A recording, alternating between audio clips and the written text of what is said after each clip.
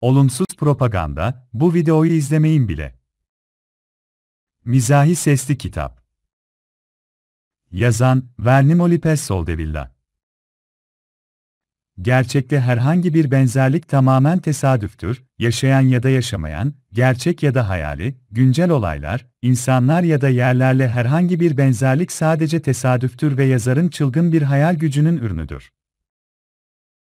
İçeriğin keyfini çıkarmak için kesinlikle gerekli olmasa da en iyi sonucu almak için kulaklık kullanın.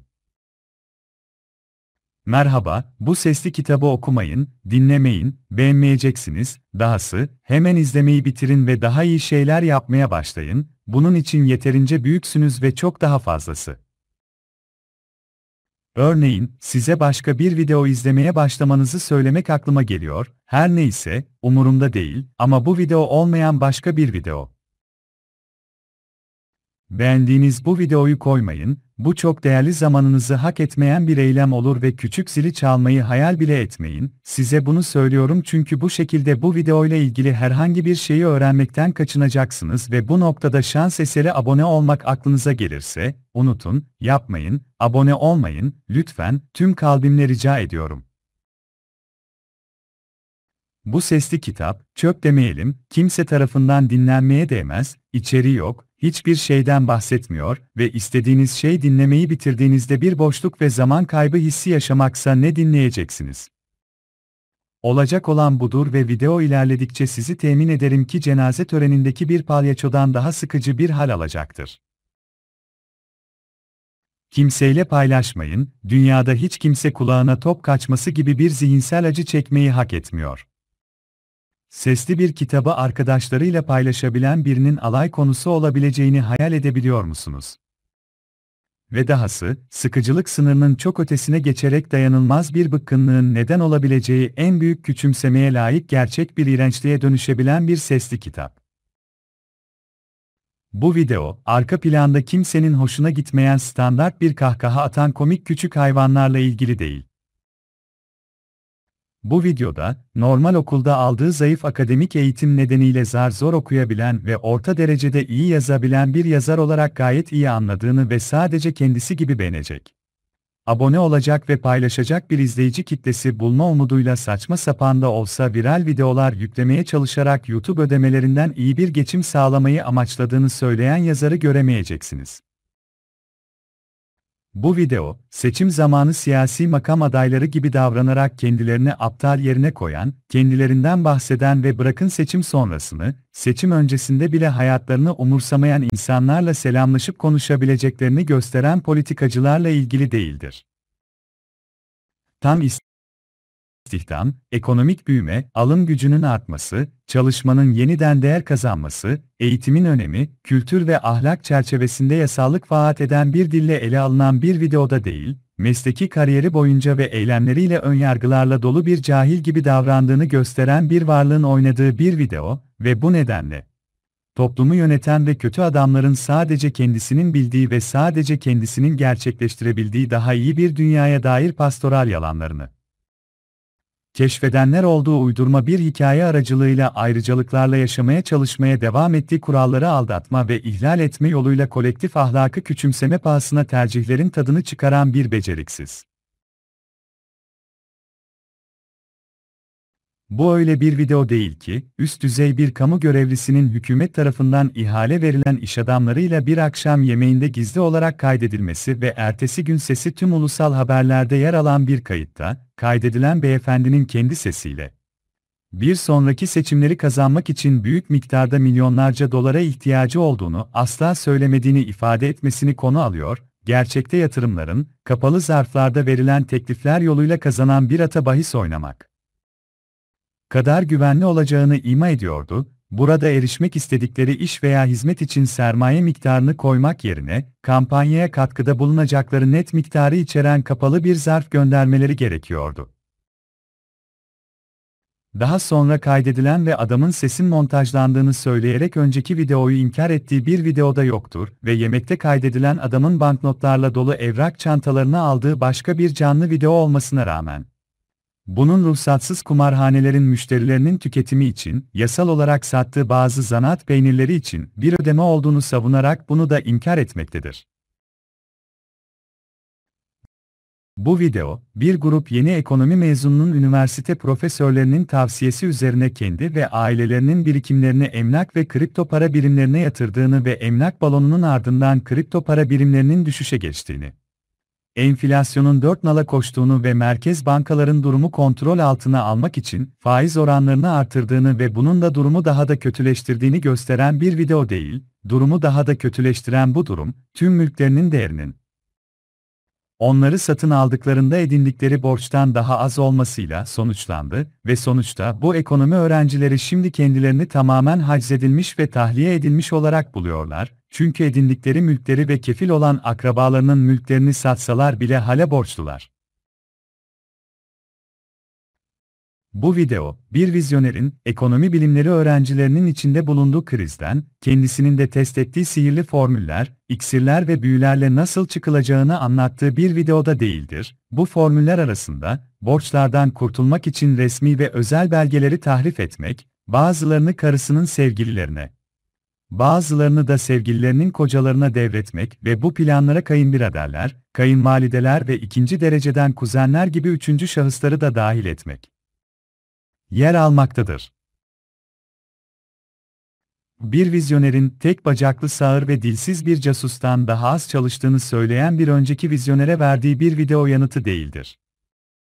Kendisini, mobilya ve ev aletlerini çalarak sattığı anne babasının emekli maaşıyla, para dilenmeleri ve trafik ışıklarında cam silmeleri için kiraladıkları engelli çocuklardan oluşan bir dernek aracılığıyla finanse ediyor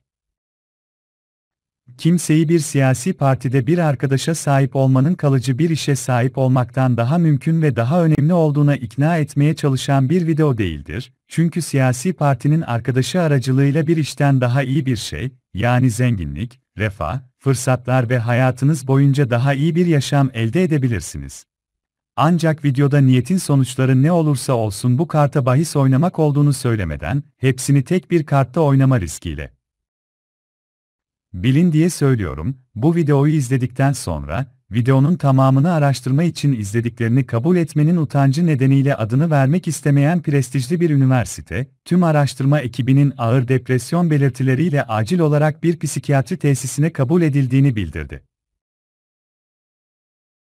Başka bir üniversitede, 50 yaşında ve henüz kalifiye olmadıkları için, kamu kesesinin yanı sıra kafeterya, finans ve mevcut eğitim planını yürütme pahasına araştırmalarına devam etmelerine izin verilmediği için sınır dışı edilen 4 öğrenci tarafından yapılan çalışmalar. Bu videoyu izlemenin, dinlemenin sıkıcılığından kaynaklanan iğrenme ve hoşnutsuzluk yüz buruşturmaları nedeniyle bir yüz tedavisinin sonucunu %300 oranında iyileştirdiğini göstermişlerdir. Geçen gün, daha fazla ileri gitmeden, yüzünde sonsuz sayıda sivilce ve delik olan, bir yüzden çok kireç taşına benzeyen ve herkesin yara izi olarak adlandırdığı bir adama rastladım.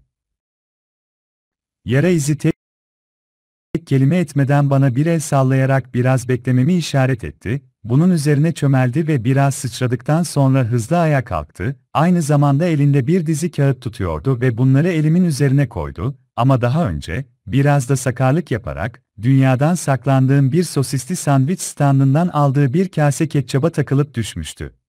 Ayağının kayması sonucu yara izi kırmızı sıvıyı elimdeki kağıtların üzerine dökmüştü. Bu gerçekte, sanki bir refleks eylemi gibi, hemen gömleğinin göğsüne götürüp hızla temizlemek için sertçe olmasına, uzatmasına ve endişelenmememi, her şeyin yolunda olduğunu, kesinlikle endişelenecek bir şey olmadığını, ancak bu videoyu sesli kitap biçiminde dinlediği için başına gelebilecek herhangi bir şeyden beni sorumlu kılan kağıtları imzalamamı söylemeye çalışan bir gülümseme eşliğinde önüme koymasına neden oldu. Bay yara izi ile sorun yaşayıp yaşamayacağımı kontrol etme hevesiyle videoyu bir arkadaşıma gösterdim ve tek kelime etmeden bilgisayarımı kafamda parçaladı ve büyük darbeyle bayılmamı fırsat bilerek tüm birikimlerimi çaldı ve ben yine de ondan af dilemek zorunda kaldım. Arkadaşımın tepkisiyle yetinmeyip bu videoyu sevgili eşime de izletmeye karar verdim ama bu kez arkadaşımın zimmetine para geçirmesinden sonra almak zorunda kaldığım büyük bir televizyonda izlettim.